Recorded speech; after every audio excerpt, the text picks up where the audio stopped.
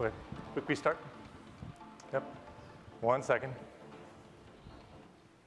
Yep, go ahead.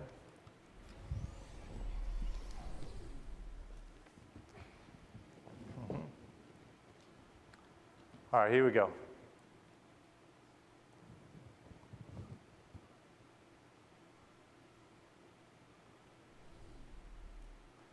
And all right, we're good to go. Yep, go for it.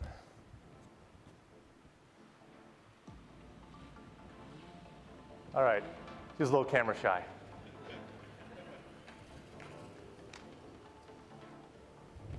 Yep.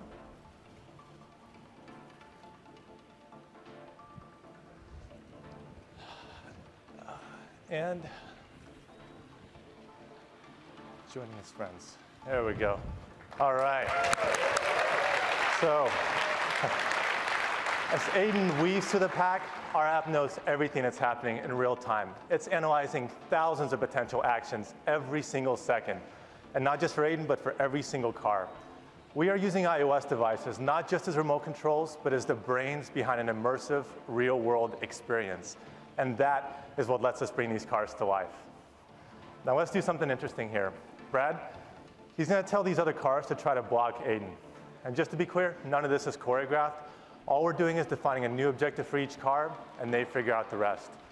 Here, Aiden, he's using the exact same logic he was using before, sensing where he is and reacting to the other cars as he looks for an opening.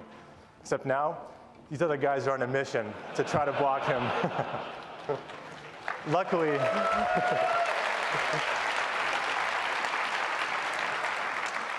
Luckily, Aiden is equipped to handle any situation. Weapons enabled.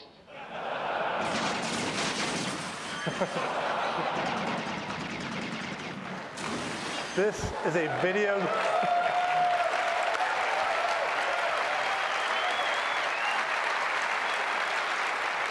this is a